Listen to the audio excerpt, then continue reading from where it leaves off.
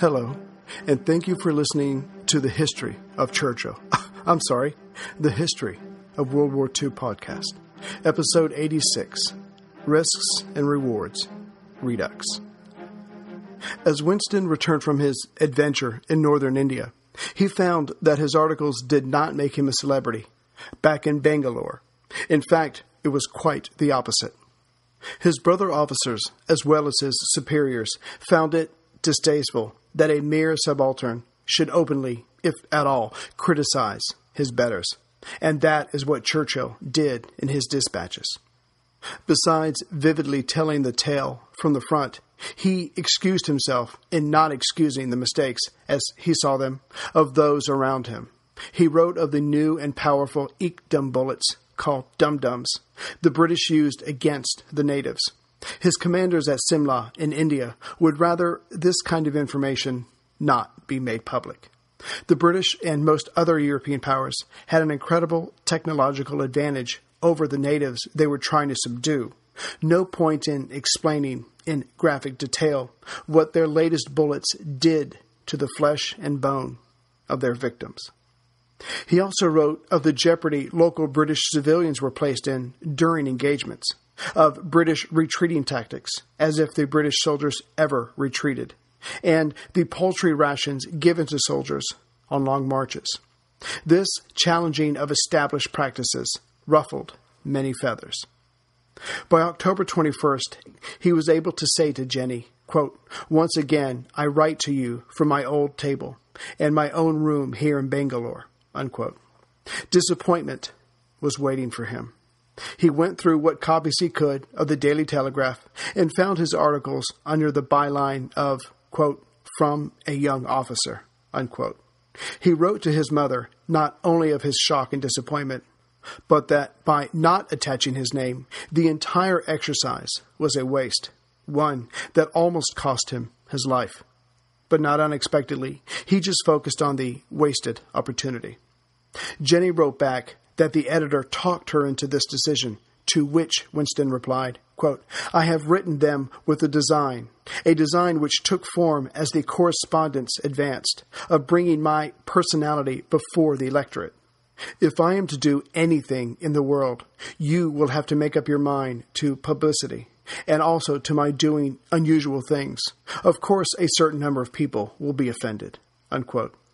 But this time, and it wouldn't be the last, it was Jennie who was in the right. She understood these matters better than her impatient son.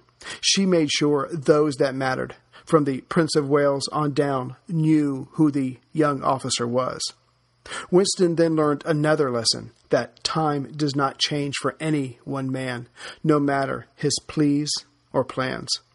As correspondence took three weeks to get from Britain to India, it was only by November that the anxious author was able to read and realize the impression his articles made. His response was cool, at least on the outside. Quote, I am very gratified to hear that my follies have not been altogether unnoticed. Unquote. And finally, there was one more lesson for Winston to learn. But honestly, this was one simple truth that he would never fully grasp. Besides the details of his articles that allowed those safely away from the battles to enjoy the drama, his writing, though at this point in his development he borrowed heavily from Macaulay and Gibbon, was something fresh and appreciated for its own merits. But this completely escaped the young Churchill at the time. He believed that only by putting himself in danger could he impress the electorate and those conservatives he would need to ally himself with. But in reality, the danger was something that impressed him more than others, if only because he saw himself as a coward, as he had expressed to his brother Jack. But the only thing worse than a coward was a medal hunter, a self advertiser, a thruster, and that's how Churchill's peers now saw him. Why should he be able to criticize those who outranked him, or army policy? How did he get so much leave? Why was he writing for a newspaper while wearing the uniform? Be a writer or be a soldier, but not both. But Winston wasn't worried about his long term military career.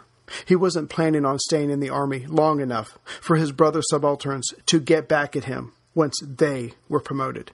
He needed to keep moving towards his goal, Parliament, and the best way to do that was to cover another battle. Sir Bindon Blood tried to pull Winston's chestnuts out of the fire by asking for him to be appointed his new orderly officer. But the adjutant general in Simla, who was just as angry as those in Bangalore, refused the request. Then, through Jennie's entreaties, the Daily Telegraph, realizing they had something here, made Winston a permanent correspondent. But this mattered little, as those in command would not let him near another conflict. Quote, the Simla authorities have been very disagreeable to me. They did all they could to get me sent down to my regiment.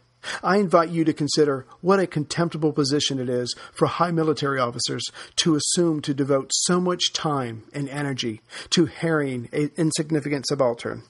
It is indeed a vivid object lesson in the petty social intrigue that makes or prevents appointments in this country. Unquote. Of course, his response to all this was to declare to his mother, quote, Talk to the prince about it. Unquote. And she did.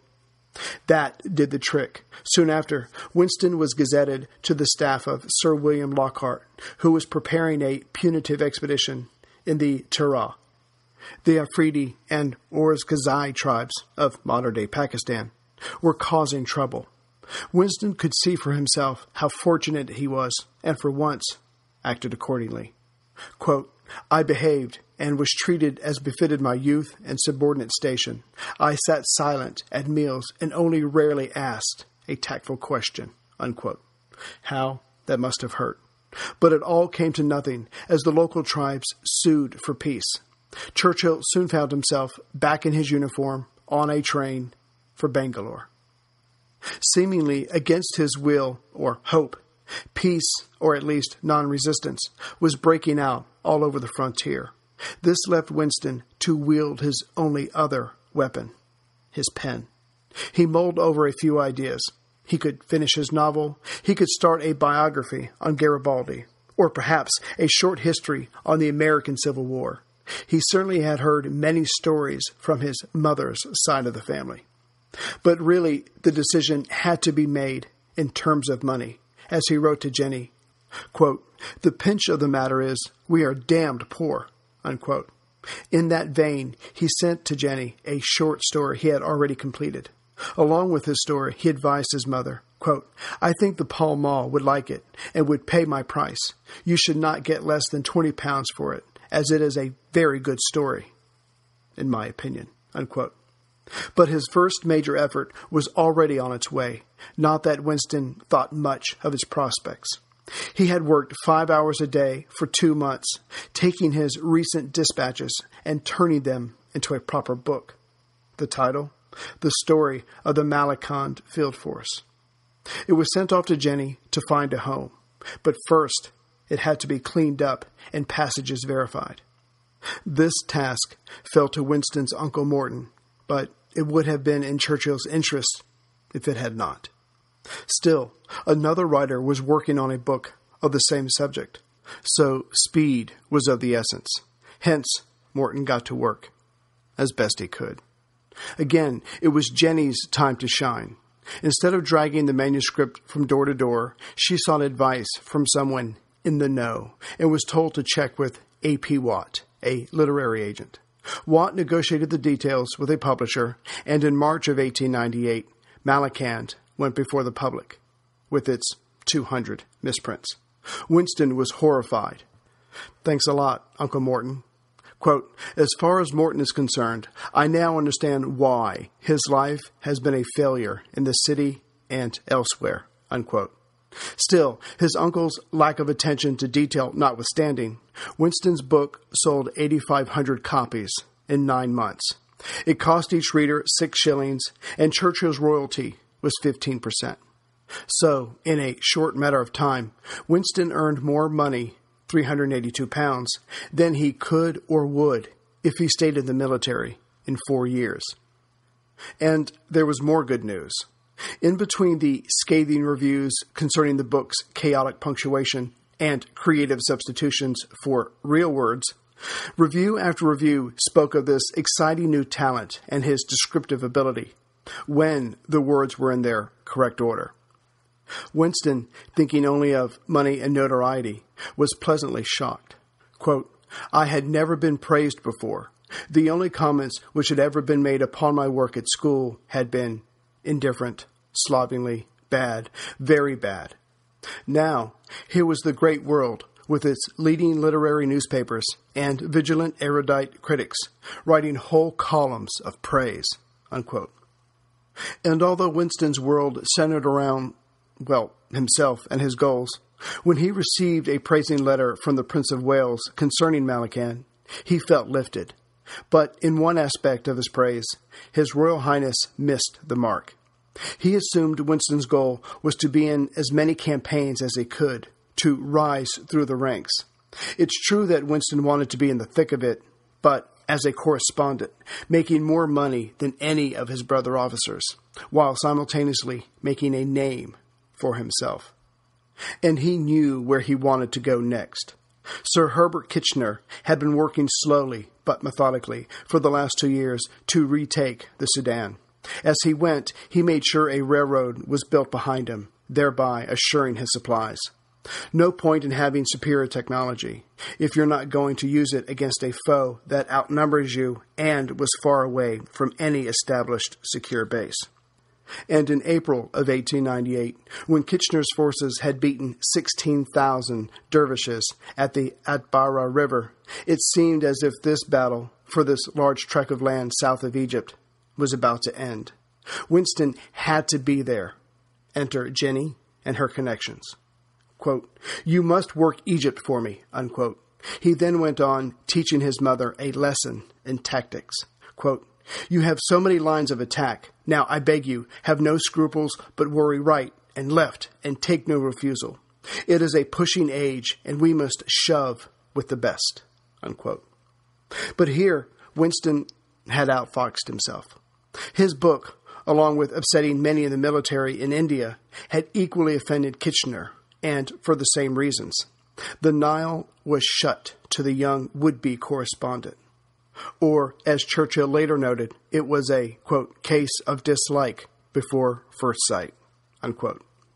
And as much as Jennie had done for her eldest son, the efforts she went to now to obtain this for him made everything in the past pale by comparison.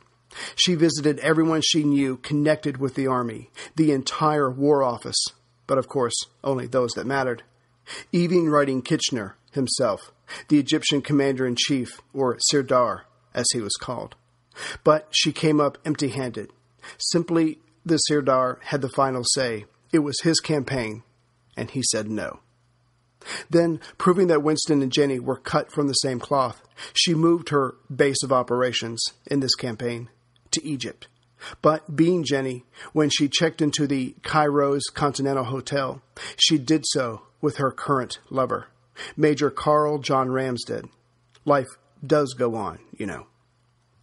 But again, she was stymied on this front as well as another one, much closer to home, or rather, her hotel room. Returning early one day, she found her lover in bed with Lady Robert Maxwell, the wife of another Army officer. Hearing of this, the Prince of Wales, yes, he heard everything of this nature, as he was at the head of the British social circles. Well, he was the head, wrote to Jennie, quote, You had better have stuck to your old friends than gone on your expedition to the Nile. Old friends are the best. Unquote. This podcaster must admit here, His Royal Highness is growing on me. Winston, hearing of his mother's debacle, decided to take measures into his own hands. On June 18th, he left Bombay and made straight for, as best he could, for the War Office.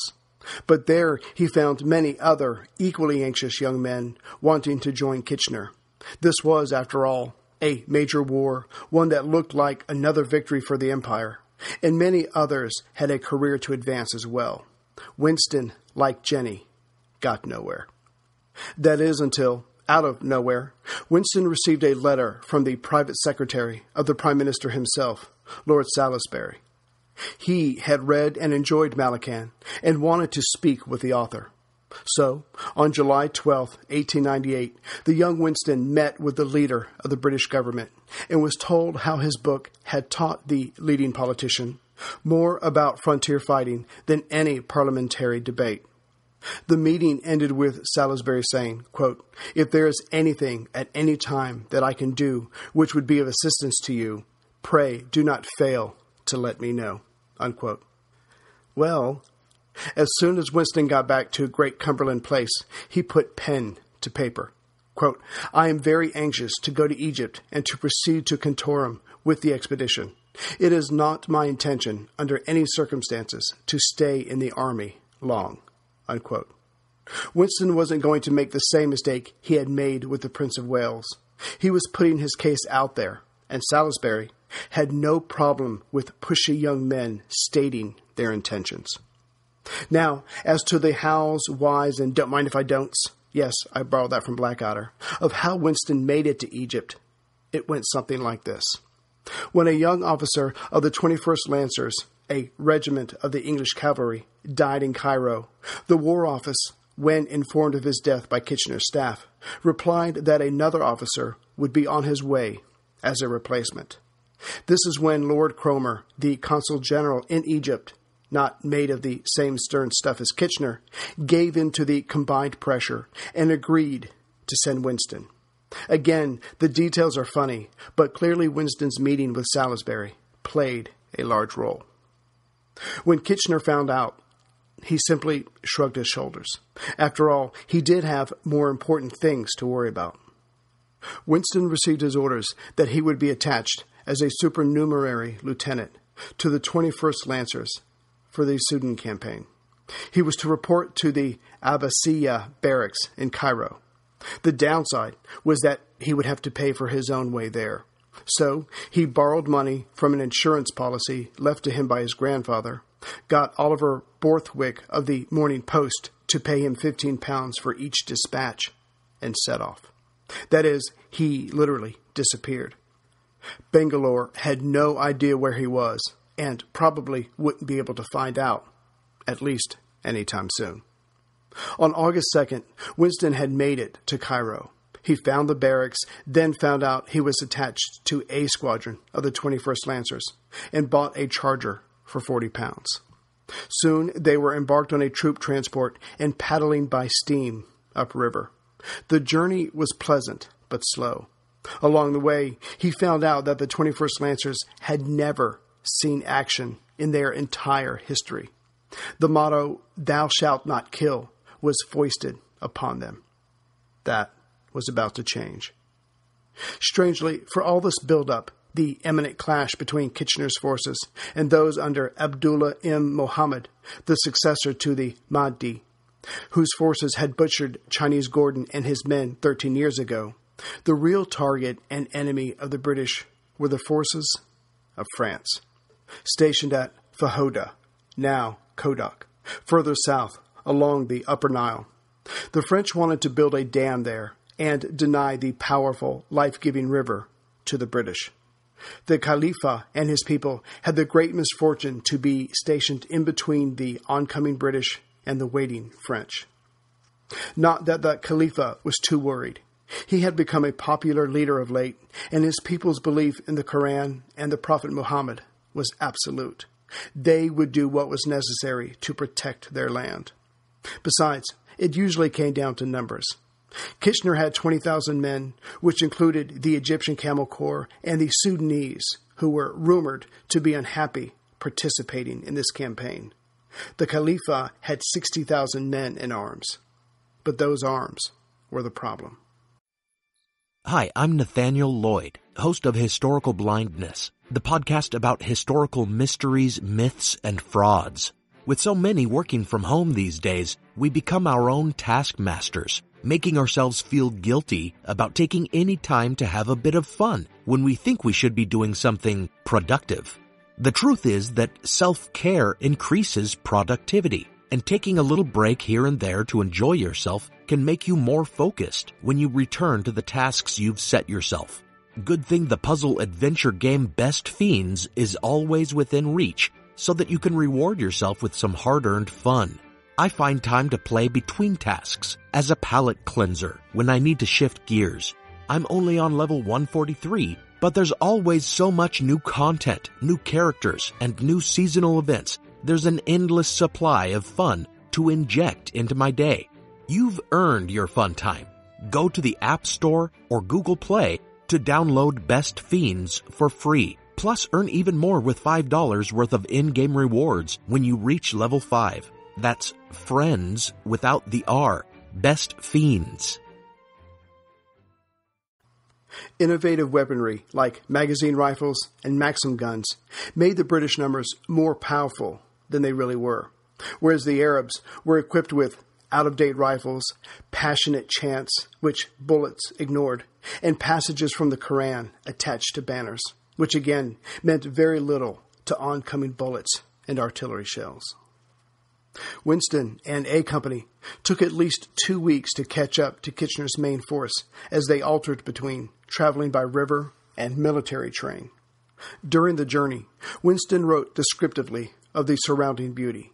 He was surprised, as he told his readers, of the lack of resistance from the Arabs as they made their way south. Quote, Usually, the game gets warmer by degrees. Unquote. But no resistance was offered. In all honesty, Winston was more worried about his personal war with the Sirdar rather than the Arabs. By August 27th, all the Anglo Egyptian forces were together, along with their nearby gunboats sitting on the Nile, just south of the Shabluka Hills. And as they were coming on their final approach, they slowed their pace, covering just under 10 miles a day. The troops, marching in the heat, appreciated this military decision. On September 1st, the 21st Lancers, posted ahead of the main body, acting as scouts, were the first to view the city of Omdurman. It was located on the western side of the Nile, across from Khartoum, and as the Khalifa's stronghold, this is where he would have to stand or surrender. Winston couldn't help but notice the hundreds of vultures circling overhead. This he did not appreciate. Just then, another subaltern yelled, quote, Enemy in sight. They haven't bolted. Unquote. Some of Winston's brother officers were fearful that there would be no contest. Churchill squinted in the direction of his comrade's extended finger, and there, about three miles away, was a ridge, in between themselves and Omdurman. On it, Winston could see black dots, which he surmised were dervishes, the name of the locals about 3,000 of them. Just ahead of the men appeared to be a zareba, or hedgehog, made of thorn bushes. This was standard practice, so as to prevent anyone walking up on the men en masse when they rested at night. Later that morning, around 11 a.m., as the Lancers continued to watch their enemy, they noticed what they had guessed was a ridge the men were on started to move en masse. The ridge turned out to be more men wearing darker colors. The mass of men came on. Its line was five miles long from left to right. Now that the sun was up, its light caught their spear tips. It looked to Winston like, quote, a sparkling cloud, unquote. Then the colonel of the 21st called Churchill over and told him to report the sighting to the Sirdar personally. Winston gave the oncoming enemy one last look and mounted his horse. Being careful not to exhaust his animal, he covered the six miles back to the main infantry body. As he was to meet Kitchener, he composed his thoughts, hoping to win a grudging respect from the overall commander. As he approached, he took in the Anglo Egyptian force before him. Five solid brigades in open columns, the Camel Corps on his left. To his right, 70 or 80 gunboats resting on the river. Coming upon the Sirdar, he gave his report, but not his name, simply saying he was an officer with the 21st. Kitchener gave no impression of knowing who the young man was and asked how long he had before their forces came together. Winston calculated the enemy's speed and their distance. Quote, You've got at least an hour, probably an hour and a half, sir, even if they come at their present rate. Unquote. Kitchener dismissed the young officer. Just then, the Chief of Intelligence, Sir Reginald Wingate, who clearly recognized the young subaltern, invited Winston to lunch. Apparently, the enemy could wait. So, as 60,000 enemy troops jogged towards them, Wingate had a white picnic cloth spread out, and the two men ate with forks and knives. And as they ate, they watched the infantry form up in a defensive arc, while the leading brigade constructed a protective hedgehog from thorn bushes. As they were very near the river, at the end of the lunch, a young man yelled at Winston from one of the boats, quote, How are you off for drinks? We've got everything in the world on board here. Can you catch? Unquote. He then tossed Winston a bottle of champagne. There was no fighting that day, as the dervishes had stopped their approach. But Kitchener wanted this engagement brought on soonest, so he had his howitzers shell Omdurman. Winston returned to his regiment, and they all slept inside the protection of the thorn bushes. The next morning, at 4:30 a.m., the 21st bugles sounded, and Churchill and the others mounted up. When there was enough light, the 21st, who would be Kitchener's eyes that day, spotted the enemy. Winston later wrote, quote, This is an hour to live. Unquote. They mounted the ridge near the river and surveyed the enemy. The ridge had been christened Heliograph Hill, and from it, Winston sent his first message back to the Sirdar. It was 5:50 a.m. Quote, Dervish army, strength unchanged, occupies last night's position with their left well extended. Their patrols have reported the advance, and loud cheering is going on. There is no Zariba. Nothing hostile is in between a line drawn from Heliograph Hill to the Mahdi's tomb and river. Nothing is within three miles from the camp.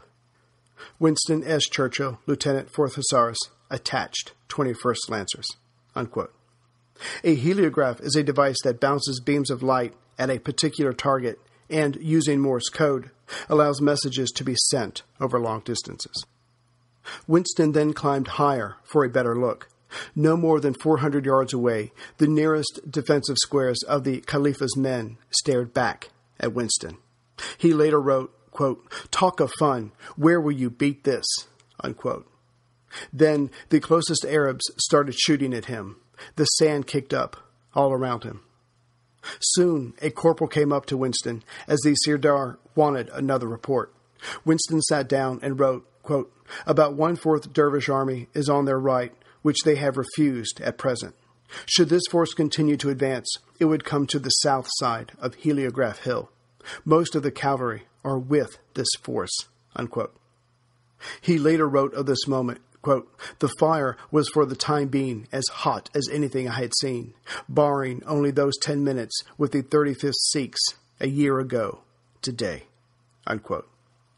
The enemy was now coming, still in their protective squares, but there were so many of them. It looked like waves coming ever closer. Quote, the tide was rising fast. One rock, one mound of sand after another was submerged by that human flood. It was time to go. Unquote. However, Winston stayed there until he was ordered back by a major.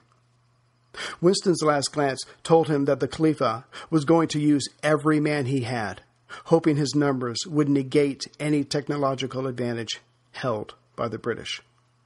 Then the Arabs started running at the invaders, screaming as they came on. But then, owing to a dip in the land, their front units disappeared, their screams muted, only to rise again, now much closer and louder. And before them were the men of Kitchener, standing shoulder to shoulder. But the two forces never met. Just then, the Sirdar's guns opened up four batteries of howitzers, shells from at least 70 gunboats, and the dum dum bullets from the Lee Enfields held by the Egyptian infantry in front. And within minutes, 7,000 dervishes fell, still 700 yards away from the Anglo Egyptian front line. Kitchener, sensing this was the moment, had his five brigades move into echelon formation and readied them to march into the city. This action, if successful, would put his forces in between the city and the Khalifa's forces. They would have to retreat into the desert, a surefire death sentence. But although suffering heavy casualties, the dervishes still vastly outnumbered their opponents. So the Khalifa's commander had his men reform and launch themselves again at the Anglo Egyptian force. This time, through speed and numbers, they made it to within a hundred yards of Kitchener's front line and lost another 20,000 men for their effort. Still, they outnumbered their enemy, and Kitchener did not want them to make their way back to Omdurman, as the result would be house to house fighting, which would negate his artillery. They had to be pushed away from the city, and that was the cavalry's job. Using the heliograph, Kitchener had the 21st Lancers, who were in the perfect location for this task, move out. Their orders were, quote, advance, clear the left flank, use every effort to prevent the enemy entering Omdurman, unquote. So the stage was set for Britain's last great cavalry charge, and Churchill, about to lead his 25 troopers, was among their number. They started off at a walk but then kicked their mounts as the bugle sounded trot. Then silence. Except for the jingling of the harnesses, all else was a perfect quiet. That is, until they were 300 yards away from the Arab line. Then they fired a volley at the oncoming cavalry. Immediately, three horses and several more lancers fell. This action changed the colonel's mind, who was going to outflank the enemy infantry and push them away from the city. Instead, he decided to run right at them. So, after the bugle sounded right wheel into line, the men knew they would soon be galloping into the enemy line of about 150 dervish riflemen. Winston, seeing their number, decided his Mauser pistol would serve him better than his sword, so returned it and pulled out the gun. This was a bit tricky at a full gallop and with his injured shoulder, but he managed it. When he looked back up, he saw what should have been the end of his life and the lives of every man with him. The dervish riflemen had been standing in a line, rather loosely, but their billowing clothes and flags had camouflaged the reinforcements that had just arrived. So now the 21st Lancers, all 310 of them, were charging full speed into nearly 3,000 men, some with spears, other with rifles, and some on horseback. The initial collision was stupendous, charging horse ramming into a wall of human flesh. At that moment, 30 lancers went, as Winston put it, quote, arse over tip, unquote. But also some 200 dervishes fell as well by the momentum of horse flesh. Whether they would or could rise was yet to be seen. And then something amazing happened. Although each side was a participant in the scene, they were all overwhelmed by what had just happened. And for about 10 seconds after the initial crash, both sides just stood there, staring at each other. Then, coming back to their senses, the British officers who had fallen off their mounts climbed on once again, and once again the Arabs charged with guns and spears, yelling as they came. The trance was broken. British and Egyptian horsemen were being pulled off their mounts. Horses had their legs attacked by swords. Their riders stabbed over and over as they fell. Winston started firing his gun, but as the men were so close, or charging right at him, he ended up shooting several in the face, or his barrel was jammed into some part of their body as it went off. Some of the dervish riflemen purposefully stayed back to attempt to get a clear shot at the horsemen. Winston saw several Martini Henry muzzles pointed at him as their flash went off. His reaction, quote, For the first time that morning, I experienced a sudden sensation of fear, unquote. As he was the lone British officer in his immediate area, he received the attention of all the nearby riflemen. So he ducked down, touching his pommel with his body, and rode in the direction of his own troop that he had just spotted 200 yards away. They had stayed more or less together and were forming up for another charge. As he reached his men, an Arab literally came out of the sand and lunged at Churchill. He had been lying in wait, his entire body covered with sand. Winston managed to shoot him, but only after the swordman had made it to within a yard of his horse. This was Winston's last bullet. He put in a new magazine. Later, he wrote to Jennie, quote, The pistol was the best thing in the world. Unquote. As the men readied themselves for another charge, they lined up and looked at their destination. Then they all, to a man, stopped dead in their tracks. A collective cry stuck in their throats. I'll let Winston tell you what they saw. Quote, a succession of grisly apparitions, horses spouting blood, struggling on three legs, men staggering on foot, men bleeding from terrible wounds, fishhook spears stuck right through them, arms and faces cut to pieces, bowels protruding, men gasping, crying, collapsing, expiring. Unquote. They got to what wounded men they could reach and gave them assistance. And perhaps seeing this macabre sight up close, the colonel remembered that his men did, after all, have guns. So they took their wounded 300 yards away and began to shoot at the dervishes. As the Arabs did not have that many guns and seemed to be poorer shots, they left the field, heading back to the main body. The lancers moved up and broke their fast on the contested ground.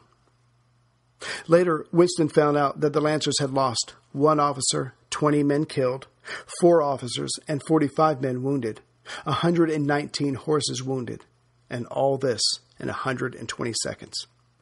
The Lancers had suffered just over 22% killed or wounded, while the overall Kitchener force suffered around 3%. Still, the Khalifa outnumbered his enemy and desired to fight. He had the city's war drums beaten, his single Krupp gun fired, and screamed at his people to fight until the end. They agreed to this last part and collectively decided the end had come. They ignored their leader. As Kitchener approached Omdurman, he was met by three city leaders. They knelt and gave him the key to the city. Hey everyone, Ray here.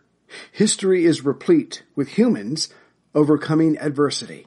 Yet one of the most horrific disasters, and those that it affected, has largely been forgotten.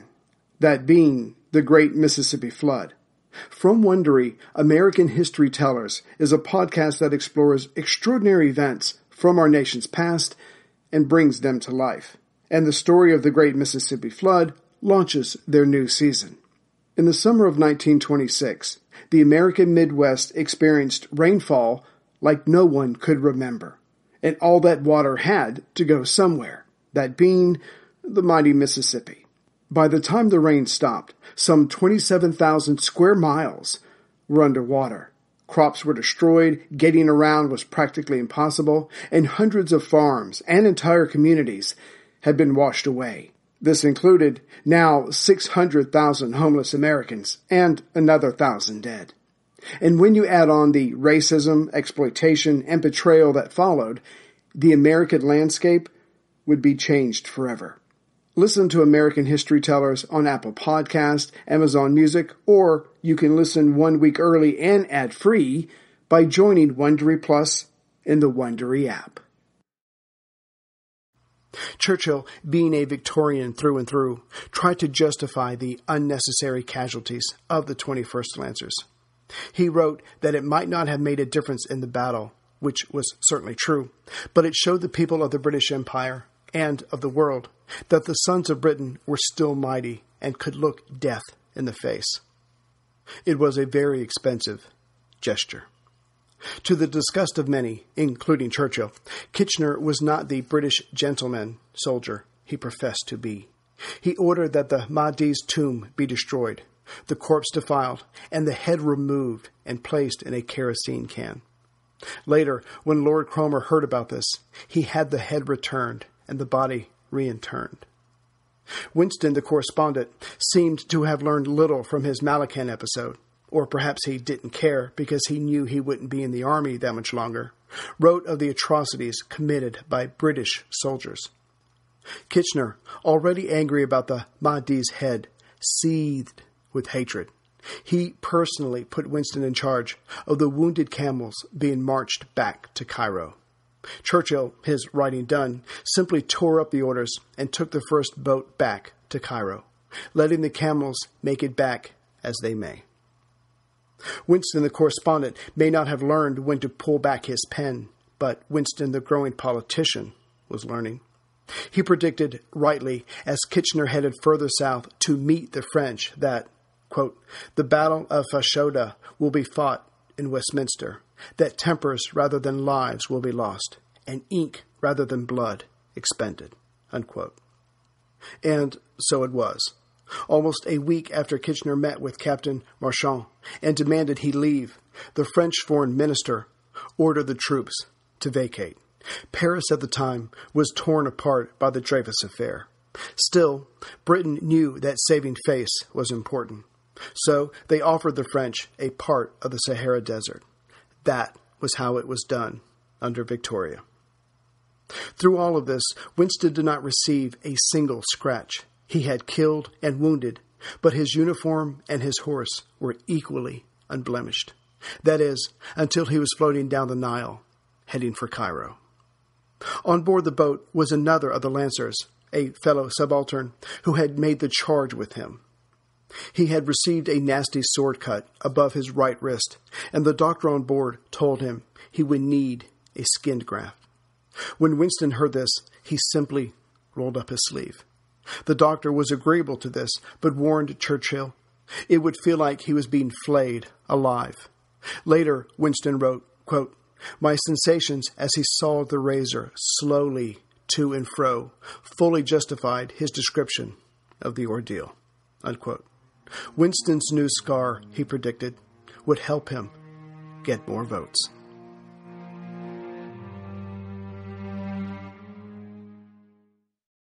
Greetings, everyone, from Central Virginia. Um, there are two more passages I want to share with you from Churchill. Uh, one is very entertaining, and the other one is beautifully moving. Um, so I want to read those to you. But before I do, I want to thank a couple people. First of all, I'd like to welcome aboard the newest members uh, Leonard G. from Sand Springs, Oklahoma, and Andrew E. from Victoria, Australia. And I'd like to thank those who donated Sarah H. from Minneapolis, Minnesota, and Jim E. from Portland, Oregon. And Jim, I just want you to know that as I am going to the beach on the second week of September, and it's my birthday as well, I have to admit, in the interest of full disclosure, that a part of your large donation, thank you very much, uh, may go to cover a bar tab or two. So I hope you forgive me. Thank you very much. And then I'd like to thank Alexander S. from Zurich, Switzerland. And I just have to mention this. Um, I would like to thank Carmen S. Not only is she a member of the podcast, but she makes uh, donations on a regular basis, and somehow through everything I missed her. So I just want to say, Carmen, I am so sorry. I apologize. And when you told me that you were listening to the podcast when you were at Disney World at the Fort Wilderness Resort, I couldn't help just sit there and think, World War II, Disney hey, sure, why not? But I hope you had a good time, and thank you for listening, and thank you for your for your membership and donation. So again, I am really sorry. And again, one more time, the um, the tour um, page should be on the website soon. Paul Finch is working really hard on it. He does have a full time job. He is newly married, and he has his own podcast, Trekmate previously in the Alpha Quadrant. So he's a little busy. But I do know that it's taking uh, place next March, and the details should be up there soon. And we're going to go to all the places we were going to go to last year. So if you can find that old episode, I'm sorry I don't know the number, but I, I gave a detailed account of all the different places that we're going to. So that should be up soon, as soon as we can get everything together. So here's the first of two passages I wanted to read from Churchill's Unequaled Pen. When he described the process of writing a book, it went like this It is an adventure. To begin with, it is a toy and an amusement. Then it becomes a mistress. Then it becomes a master. Then it becomes a tyrant. The last phase is that just as you are about to become reconciled to your servitude, you kill the monster and fling him to the public. This next passage shows his growing skill with his pen and his ability and temperament to criticize those, even of superior rank, people he felt were in the wrong. And with his skill, he wanted to praise the slain Arabs that he had just fought. When the soldier of a civilized power is killed in action, his limbs are composed and his body is borne by friendly arms reverently to the grave. The wail of the fifes, the roll of the drums, the triumphant words of the funeral service, all divest the act of its squalor, and the spectator sympathizes with, perhaps almost envies, the comrade who has found this honorable exit. But there was nothing dulce et decorum about the dervish dead, nothing of the dignity of unconquerable manhood. All was filthy corruption. Yet these were as brave men as ever walked the earth. The conviction was borne in on me that their claim beyond the grave, in respect of a valiant death, was as good as that which any of our countrymen could make. There they lie, those valiant warriors of a false faith and of a fallen domination. Their only history preserved by their conquerors, their only monuments, their bones. And these the drifting sand of the desert will bury in a few short years. Three days before, I had seen them rise, eager, confident, resolved. The roar of their shouting had swelled like the surf on a rocky shore. The flashing of their blades and points had displayed their numbers, their vitality, their ferocity. They were confident in their strength, in their justice of their cause, in the support of their religion. Now, only the heaps of corruption in the plain and fugitives dispersed and scattered into the wilderness remained. The terrible machinery of scientific war had done its work. The dervish host was scattered and destroyed. Their end, however, only anticipates that of the victors. For time which laughs at science, as science laughs at valor, will in due course contemptuously brush both combatants away.